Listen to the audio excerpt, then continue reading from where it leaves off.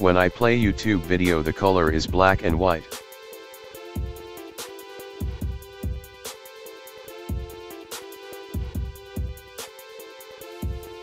Let's see how to fix it.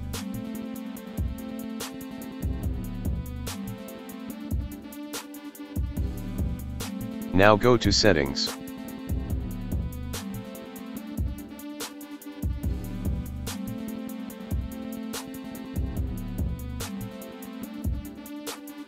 The advanced settings.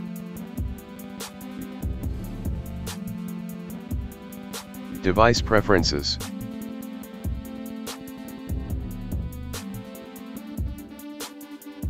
Then click on picture.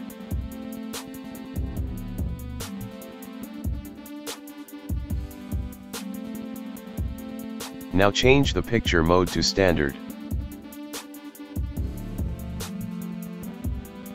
You can reset the default settings. Then your problem will be solved.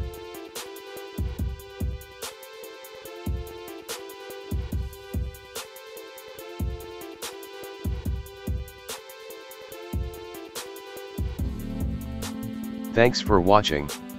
If you like our videos, please subscribe.